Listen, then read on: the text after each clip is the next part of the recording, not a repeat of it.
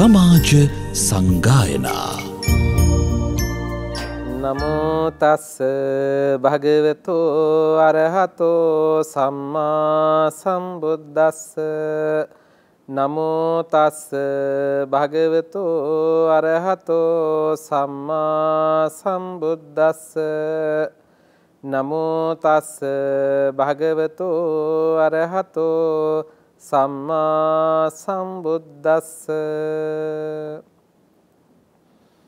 සදහම් අසනු කැමැති කාරුණික වාසනාවන්ත පින්වත්නි.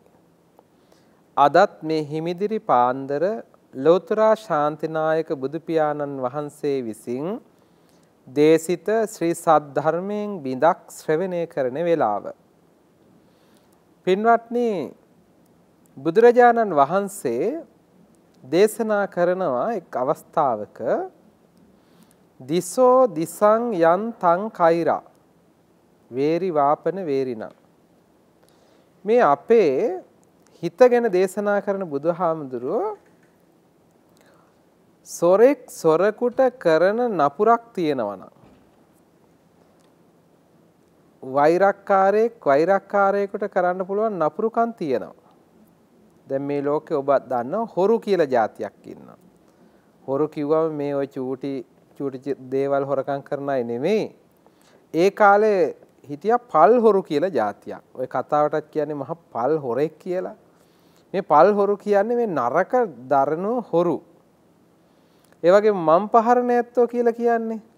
ඒ කියන්නේ ඒ ඇත්තෝ සමහර වෙලාවට පාරක හැංගිලා ඉඳලා පාරායිනේ කැලේක හැංගිලා ඉඳලා ඒ අරගෙන යන මිනිස්සයා සතු දේවල් පැහැර ගන්නවා. සමහර වෙලාවට දැන් අර හොරකම් කරන්න ඕනි හින්දා ඒ බඩුව විතරක් ගන්නව නෙමෙයි මිනිස්සයා සමහරලාට මරලා දානවා.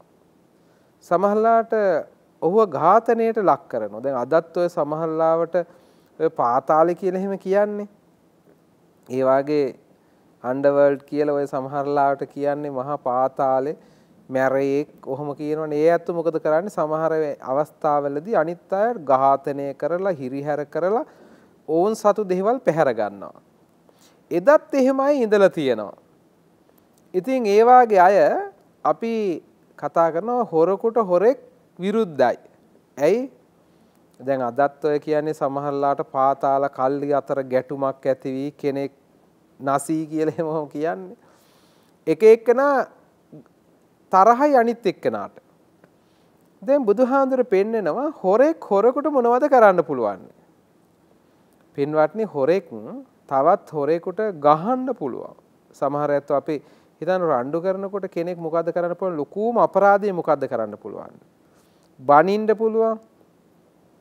අතින් පයින් ගහන්න පුළුවන්. දඬ මුගුරු වලින් ගහන්න පුළුවන්.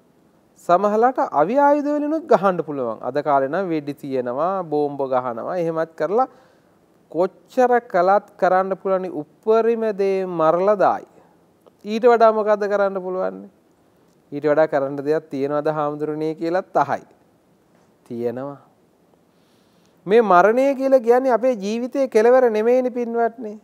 සසර කෙලවර නෙමෙයි. මේ ආත්මෙ මේ චූටි එක කෙලවරක් විතරයි. හොරකුට කරන්න පුළුවන් උප්පරිම දේ මේ ආත්මය අපිව මරණයක විතරමයි. ඕන ඔය දහමරකියකොට දැන් සමහරු කියන්නේ පුළුවන් නම් මරන්නකෝ එච්චරනේ කරන්න පුළුවන් ඇත්තම එච්චරයි කරන්න පුළුවන්. මරණයක විතරයි කරන්න පුළුවන් ඕන පාතාලේ හරි යම් මොන හරි හොරකුට ඕන කෙනෙකුට මේ ආත්මේ මරත හැකි. එතකොට හාමුදුරනීති වැඩක් නෑනේ කියයි. නෑ වැඩක් තියෙනවා. මොකද්ද වැඩක් තියෙන්නේ? අපෙට දිසෝ දිසන් යන් තංකයිරා. ඔව් වෛරක්කාර වෙලා ඉතින් වේරි වාපෙන වේරිනම් ඊටත් වඩා දරුණු දෙයක් තියෙනවා පින්වත්නි බුදුහාමුදුරු පෙන්නනවා වැරදියට යොමු කරපු හිත හොරකුට මේ ආත්මය අපි මරලා දාන්න පුළුවන්.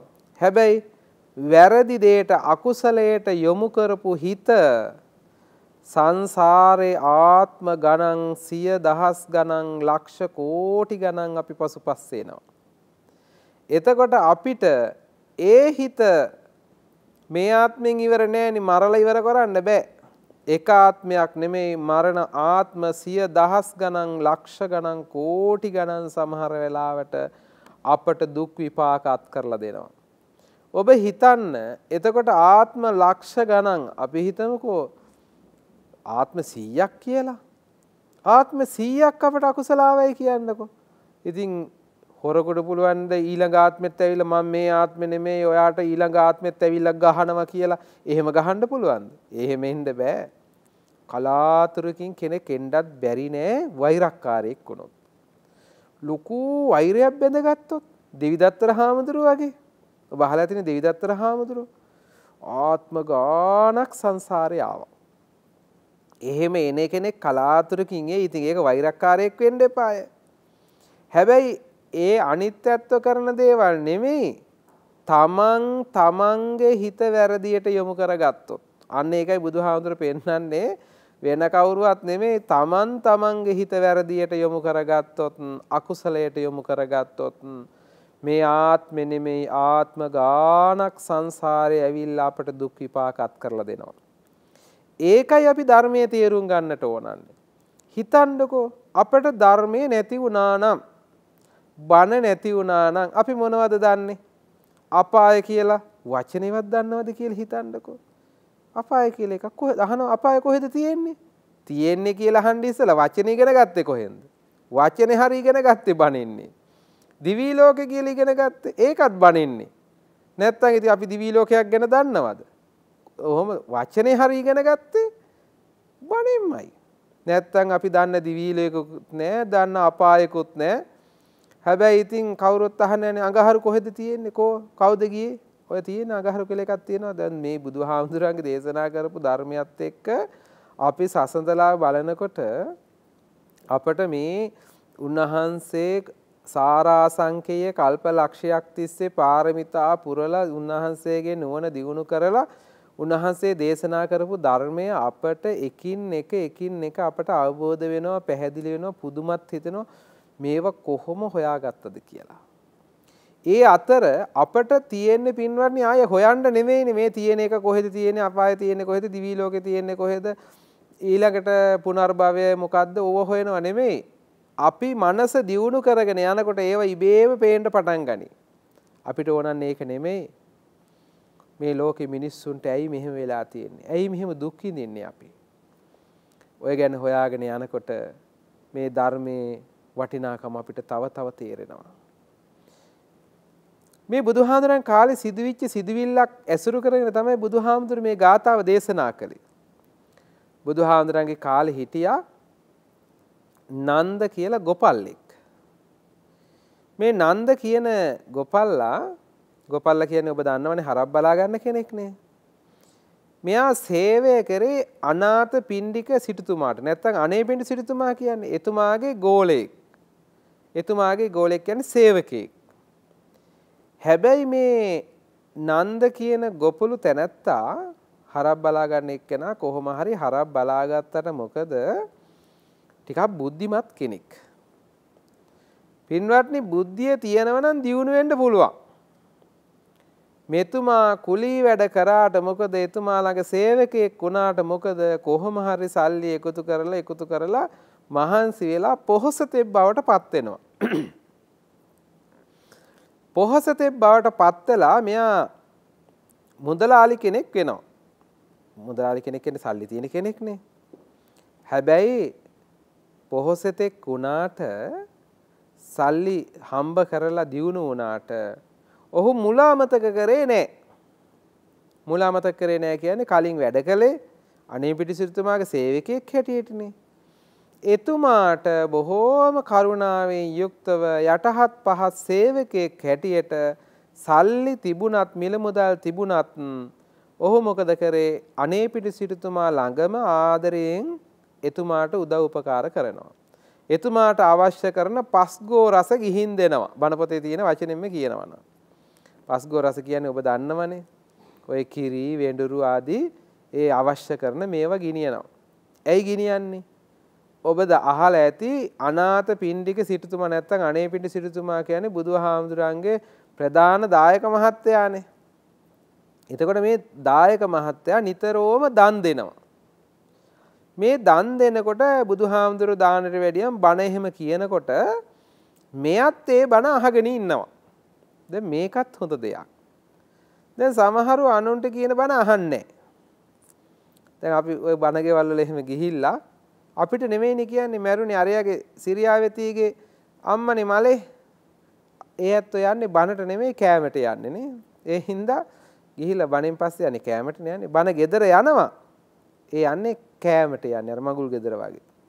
ගිහිල්ලා කාලෙන්න යන්නේ. බණ කීරුට බණ අහන්න කැමති නෑ. හැබැයි ගෙදර සේවකයෙක් හැටියට ඉන්න කාලේ බලන්න මේ කතාවේ වටිනාකම ඔහු සේවකයෙක් හැටියට ඉන්නකොට අර සිටුතුමාට එහෙම කියන බණ අහගෙන ඉන්නවා. අහගෙන ඉඳලා ඉඳලා ඔහුට අර දාන එහෙම දෙනව දැක්කම හිතුණා මටත් දානයක් දෙන්න ඕනි. ඊට පස්සේ බුදුහාමුදුරන්ට ගිහින් ආරාධනා කළා බුදුහාමුදුරනේ මං ආසයි දානයක් දෙන්න. බුද්ධ ප්‍රමුඛ මහා සංඝරත්නයට. බුදුහාමුදුරු දානි බාරගත්තේ නේ. බලන්නකෝ අර දුප්පත් මිනිස්සයාගේ ගොපළු මිනිස්සයාගේ හරක් බලන එක්කෙනාගේ දානි බාරගත්තේ නේ. ඇයි බාරගත්තේ නැත්තේ? බුදුරජාණන් වහන්සේ දිවසින් බැලුව මේ දානෙ වැළඳීමෙන් මේ මිනිස්යාට සෙතක් වෙනවද? කිසිම සෙතක් නැහැ. ඇයි දානෙ ටික දෙයි? අඩු ගානේ බණ අහලා ධර්මය අවබෝධ කරගන්න තරම්වත් ඥානයක් නැහැ. නුවණක් නැහැ. පින්වත්නි ඒ හින්දා බුදුහාමුදුරුවෝ ටිකක් බැලුවා ඔහුට ප්‍රඥාව වැඩි වෙනකන් ටිකක් ඉන්න ඕනි. දානි ප්‍රතික්ෂේප කළා. එයාට දුකකුත් නේ. දැන් වැරදිලා හරි ඔබ හිතන්නකෝ අද පන්සලට ඇවිල්ලා හාමුදුරනේ අපේ මේ දානයක් දෙන්න ඕනි මට කියලා කියනකොට හාමුදුරුවෝ කිව්වොත් එහෙම දායක මහත්තයෝ මේ දවස්වල කොරෝනා මේ දවස්වල ටිකක් කරන්න අමාරුයි. කිව්වොත් එහෙම හා හොඳයි හාමුදුරනේ කියලා ගිහිල්ලා ඒ හාමුදුරුවෝ එපා. අපි යන් අනිත් පන්සලට. සමහරට පන්සලත් අත්හරිනවා. සමහරට හාමුදුරුවොත් එක්ක තරහත් වෙනවා. එහෙමත් තියෙන මේ දවස්වල සමහර ඇත්තෝ. හාමුදුරු දැන් මේ වසංගතය අතරතුර කරන්න අපහසුයි. මහත්තයෝ පන්සලට දාන ටික හරි ගේම කිව්වොත් එමේ නෑ හාමුදුරනේ ගෙදරටම වඩම්මන්න ඕනි. ගෙදරම බණ කියන්න ඕනි. නෑ හාමුදුරනේ වැඩිය ගෙන්නන්නේ පස් දෙනෙක් හය දෙනෙක් ගෙදර කට්ටිය විතරයි කියනවා. ගිහිල්ලා බැලුවම ගමේම මිනිස්සු ඇවිල්ලා. එහෙමත් තියෙනවා. අපි මේ දවස්වල විශේෂයෙන් ඒකත් තේරුම් ගන්න ඕනි.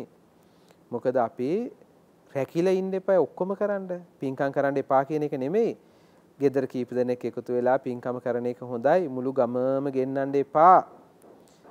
ඉතින් එදා මොකද වුණේ අර මම මේ කිව්වේ එයා අසන්තෝෂ වුණේ නෑ.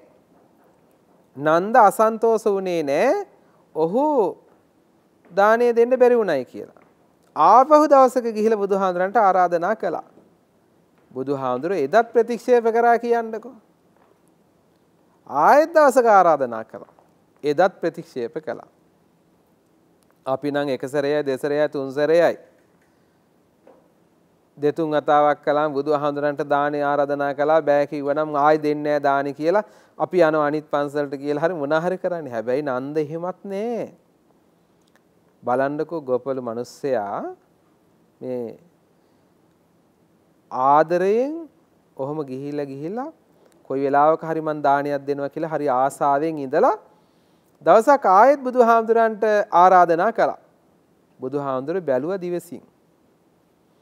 ඔහු දානය දැන්නම් පිළිගත්ද වටින වෙලාව. ඇයි ඒ වෙනකොට ඔහු දානය නොදුන්නයි කියලා නෑ බණ අහලා ඔහු ධර්ම ශ්‍රවණය කරලා ඔහු ප්‍රඥාව ටිකක් දියුණු වෙලා ඒ වෙනකොට. බුදුහාමුදුරුවෝ වැඩිය ගෙදරට ස්වාමින් වහන්සේලාත් එක්ක. පින්වත්නි වැඩියම ඔහුට සතුට කියන්නේ පුදුම සතුටක්. බුදු හාමුදුරන්ට ආදරයෙන් ශ්‍රද්ධාවෙන් බොහෝම උවමනාවෙන් දානෙ බෙදුවා. දානේ වළඳල ඉවරුණාම බුදු හාමුදුරුව භුක්තානුමෝදනාව කළා. ඔබ දන්නවා දානේ වළඳලා ඉවරලා දායකයාගේ හිත සතුටු වෙන්න ධර්ම දේශනා කරනවා. මේ බුත්තානුමෝදනාව කළාම බණ ටික අහලා ඔහු සෝවාන් තත්ත්වයට පත් වෙනවා. ඔබ දන්නවා නිවන් අවබෝධ කරගන්න යන පියවරේ සෝවාන් සකදාගාමි අනාගාමි අරහත් කියලා සතර මඟ සතර ඵලයන් තියෙනවා. ඔය අට්ඨපුරුෂ පුද්ගලා කියන්නේ පුරුෂයෝ 8 දෙනෙක් ඉන්නවා. ඒ අට්ඨපුරුෂ පුද්ගලා කියන අතරින් ඔහු සෝවාන් ඵලයටපත් වෙනවා. ඒ කියන්නේ සෝවාන් මග්ග සෝවාන් ඵල සෝවාන් ඵලයටපත් වුණා. සෝවාන් ඵලයටපත් වෙලා දැන් හරි සන්තෝසයි. බුදු හාමුදුරු දානේ වළඳලා හමාර වෙලා පන්සලට වඩින්න පිටත් වුණා. ඔහු පසුගමන් යනවා. මොකද මේ පසුගමන් යනවයි කියන්නේ? පිටිපස්සෙන් යන එකට. දැන් ඔය ඇත්තන්ගේ ගෙවල් වලට කවුරු හරි ආවම කොච්චර පසුගමන් යනවද? වටිනාකම වැඩි වෙනකොට පසුගමන් ටිකක් දික් වෙනවා. දැන් අපි හිතන්නකො කවුරු හරි හොඳ නිතර මේ එක්කෙනෙක් ඇවිල්ලා අපි යනවා කියලා හොඳයි යන්න. එයා වාඩි වෙලා ඔහෙ ඉන්න පුටුවේ නැගිටින්නේවත් නැහැ. හැබැයි ටිකක් හිතවත් කෙනෙක් කාලකට පස්සේ ඇවිල්ලා යන්න හදනවා.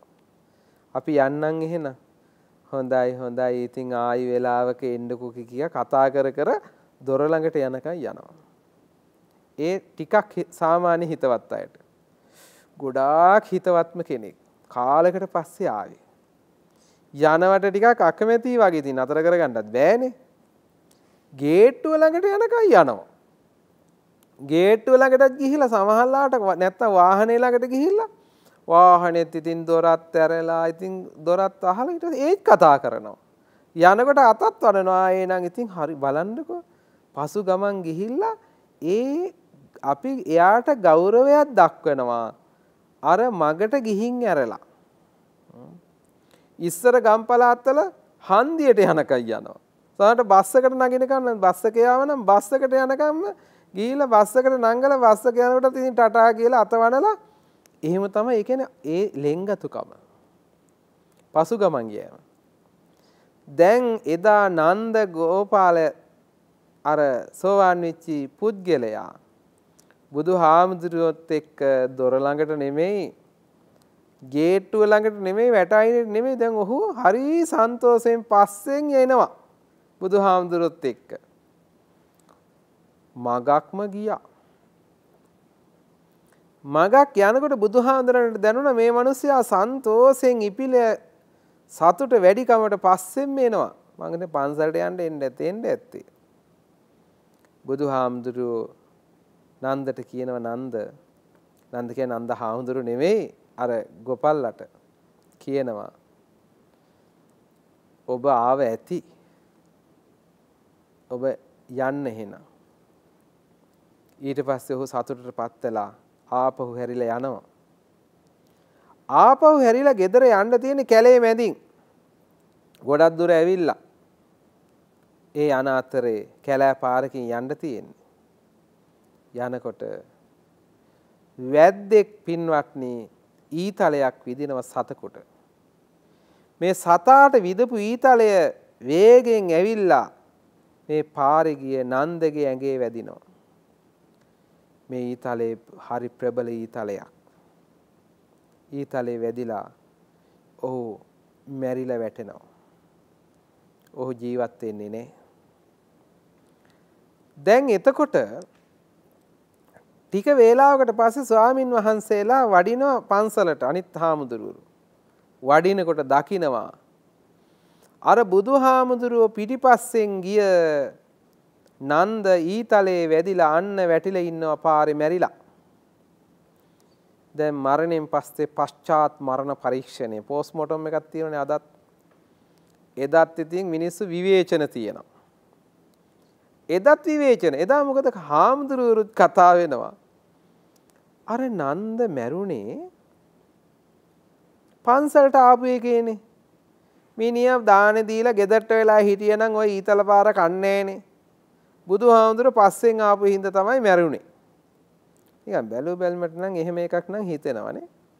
අදත් ඔහොම කතා කියන්නේ නැද්ද? අදත් සමහරලාට ඔය මාධ්‍ය වල එහෙම වාර්තා එහෙම තියෙනකොට හරි පත්තර වල එහෙම දැකලා ඇති. සමහර ඒවා වාර්තා කරන්නේ පන්සලට යද්දී වාහනේ හැපි මියයි. පන්සලට යද්දී ඉතින් පන්සලට යෑම වාහනේ හැපීමයි කියන්නේ දෙකක්නේ. එතකොට පන්සලට යනකොට වාහනවල හැප්පෙන්න බැරිද? පුළුවන්. සමහරලාවට සිල්ගත් උපාසක අම්මා කියලා තව එකක් දානවා. සිල්ගත් උපාසක අම්මාතෙන් ඒ උන්දට අනතුරක් වෙන්න බැරිද? පුළුවන්. මේ වගේ දේවල් එදත් තිබුණා. දැන් බලන්නකො දැන් අර අද වුණා නම් අදත් පත්තරේ එහෙම දාන්න පුළුවන් නේ. බුදුහාමුදුරු පසුපස ගිය නන්ද ඊතලයක් වැදී නසී කියලා දායි. එතකොට බුදුහාමුදුරු පස්සෙන් ගියේ හින්දා නෙමෙයි මැරුණේ. ඔහු කොහොමත් මැරෙන්න ඔහුගේ අකුසල කර්මය බලවත් වෙලා තිබුණා. පින්වත්නි මේ කාරණේ නිමිති කරගෙන බුදුහාමුදුරුව පෙන්නලා දෙනවා හාමුදුරුවන්ට දිසෝ දිසං යන්තං කෛරා වේරි වාපන වේරිනම් මිච්ඡාපන හිතං චිත්තං අර හොරෙක් හොරකුට අවඩක් කරනවටත් වඩා වෛරය සංසාරේ එනවා වගේ නෙමෙයි. වැරදියට මෙහෙවපු හිත පාපකාරීව මෙහෙවපු හිත සංසාරේ අපිත් එක්ක එනවයි කියලා. පින්වත්නි ගොඩක් අවස්ථාවලදී අපි දකිනවා හාමුදුරන් වහන්සේලා අහන බුදුහාමුදුරනේ මොකද්ද ඒ නන්ද තැනත්ත නැත්තම් ඒ නන්ද ගෝපාලයා මොකද්ද කරපු අකුසල කර්ම ඉස්සර? කියලා හරි අහනවනේ. කවුරුවත් හාමුදුරුව අහලත් නැහැ.